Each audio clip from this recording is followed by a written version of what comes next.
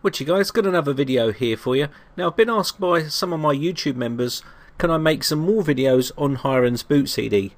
So here we go with this one. We're going to be showing you how to edit the uh, startup programs uh, menu using Hiren's boot CD. Now obviously the operating system may not be able to boot. Now malware can cause this where the operating system won't boot, you can't get into safe mode networking and stuff like that and you want to start by removing um, programs on the startup. Now you can also delete drivers, uh, stop services and stuff like that using this method okay? And I'll show you how to do it using Hiren's boot CD.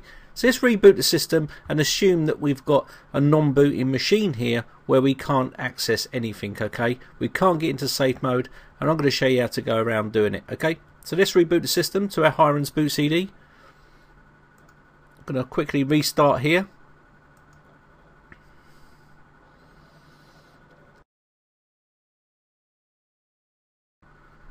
Okay, what I want to do here, now I've got Hiren's up, what I want to do is come down to Mini Windows XP. I'm going to load this up.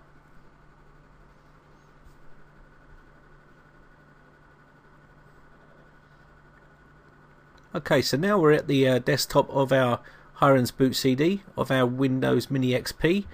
Now what we want to do here is come down to the bottom right hand side here, right click on this, and we want to go to where it says Startup and we want to go to Autoruns. Now Autoruns is an awesome tool to actually use. It's from sysinternals and it's an awesome tool for removing um, malware and also startup programs that you want to remove.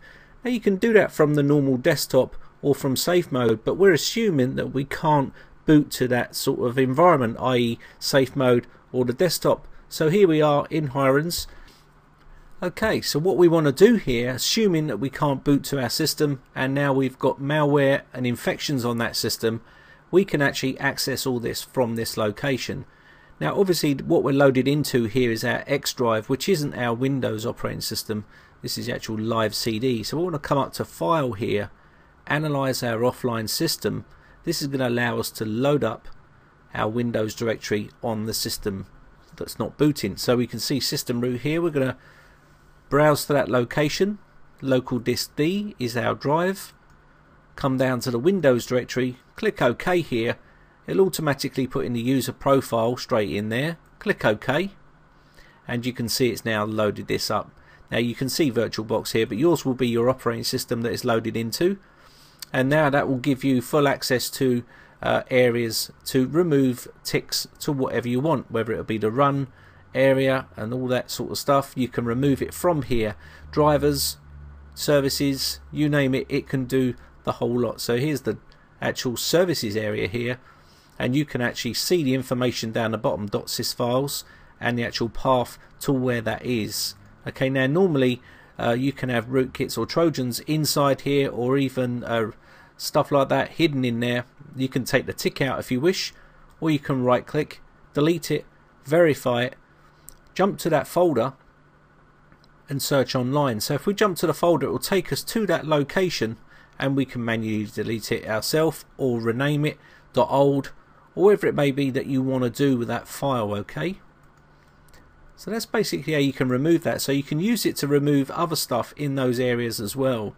Now you could manually go to the driver's area and it will take you to that area itself or you can go to services, stop services from running You've also got uh, known DLLs and up the top here if you look on the everything here this is where you'll get the run. Now there's not a lot of stuff inside here um, granted because this area's only got one thing here but you would have a list of stuff programs that are running on boot up and that's the stuff that you want to take the ticks out of or you can actually delete them okay from the list.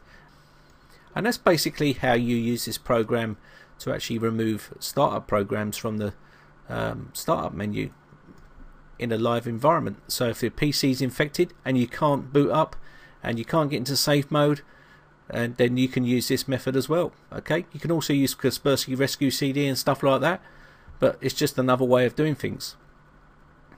Let me shut this down and reboot the system.